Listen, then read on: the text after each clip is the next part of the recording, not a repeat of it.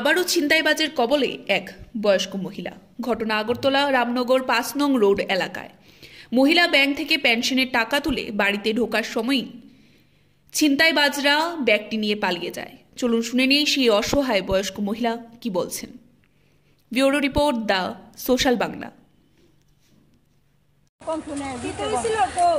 আমি পেনশন তুললে বাড়িতে সারা জীবন হই একাতে চাবিটা খুলতাছি তালা চাবিটা খুলতাছি ডাইনাতে আর বাবাতে আমার ব্যাগটা হঠাৎ করে একটা শব্দ হয়েছে শব্দ আমি মা- শব্দর লগে লগে বাবাতে টান্ডা লইয়া গেছে আমার ব্যাগটা আমি তখন এই শব্দ আমি চিন্তা করছি না আমি চিৎকার শুরু করছি সুর সুর সুর তারা কয়জন আসলো?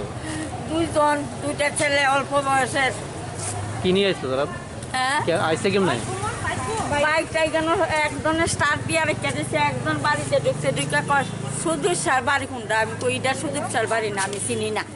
কই সেই বাড়ি ডাকার এই সুযোগ কই আমার কাজ কইটা তারা এদিকে তো বাইক স্টার হয়ে আছে।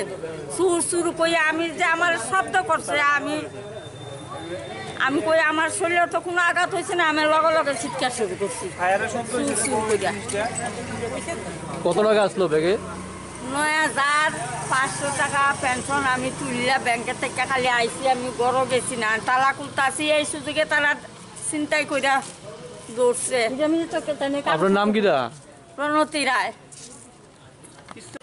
হোল্ডার পেনশন তুলতে গেছিল রামনগর আহ, ওই যে ইউবিআই ইউবিআই থেকে পেনশন তুলতে গেছিল বয়স্ক মহিলা।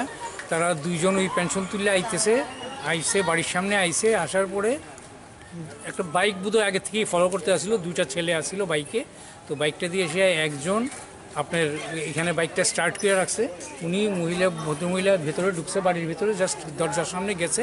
যাওয়ার পর আরেকজন পেছন পেছন গিয়ে জিজ্ঞেস করতেছে এই বাড়িটাকার এই বাড়িটাকার কুইতে কুইতেই টানের ব্যাগের থেকে সব কিছু নিয়ে গেছে। আর ব্যাগটার ভিতরে টাকা ছিল পেনশনের টাকা ছিল তারপরে আই কার্ড তারপরে পেনশন হোল্ডারের কার্ড এভরিথিং কত টাকা কত টাকা টাকা প্রায় দশ হাজার টাকার উপরে আছে। নয় হাজার পাঁচশো। নাম কি তাদের? ওনার নামটা কি জানো? প্রণতি প্রণতি রায়। হ্যাঁ ওনার ছেলেও পুলিশ ডিপার্টমেন্টে চাকরি করে তো ছেলের বউ এই আর কি আমার উল্টো দিকে বাড়ি আমার পাশের বাড়ি আর কি।